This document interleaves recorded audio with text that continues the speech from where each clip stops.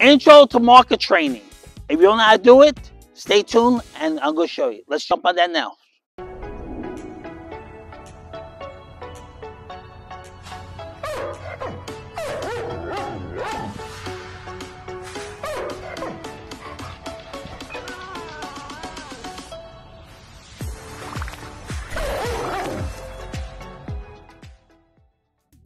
All right, guys, so I'm here with Junior, and we are going to demonstrate you guys how to use marker training. The concept, not teaching obedience, not teaching any kind of uh, the sit, down, stay, or anything. I'm just showing you the concept of how to use the marker, the order to use it, and how to use it. Now, marker is a, the bridge, a gap between the dog doing the behavior and the reward.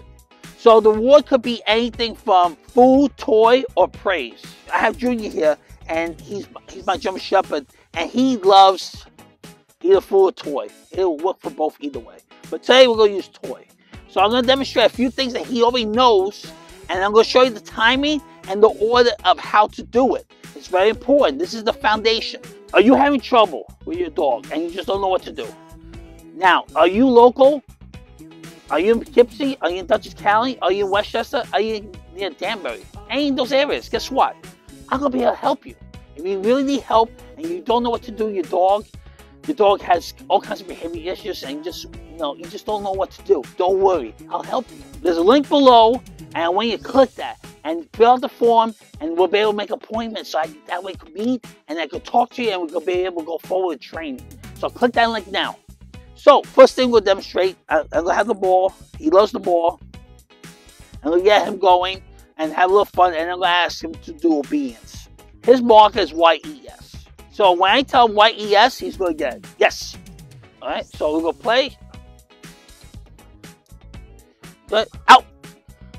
So I he released the ball. So number one, you need to have him be able, the dog to be able to engage in the ball and release the ball. Those are very important pieces. Down. Down. Yes. I gave him a second to, to be in that position and I mark the behavior. Up, up. Yes. So these are all things he knows. Out. Heel. Yes. Out. Up.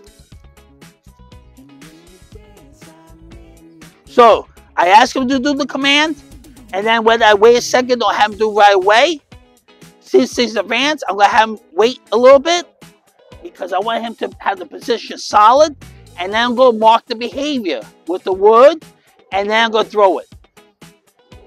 Yes. He brings it back to me. Good. We play. Little tug of war. Out. Up, up.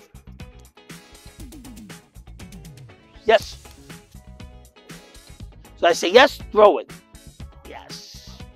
So guess what? I just marked again. I just marked him bringing it to me. Right? I, I reinforce that behavior by marking him bringing it to me, me grabbing it, and me playing with him. That's his reward. We're gonna play together, right? Out. Releases. Yes. Right? What did I mark? Him releasing. Out. Up, up. Yes. So no matter what behavior I ask him, of course, like I said, he knows all this. I'm not teaching him the behavior. I'm just reinforcing this. The concept is I'm building his foundation stronger by marking the behavior and rewarding it. Out. Yes. Boy. Good job, buddy. Good job. Out. Out. Good. Yes. Out. Yes. Good. All right. And that is marker training with toy.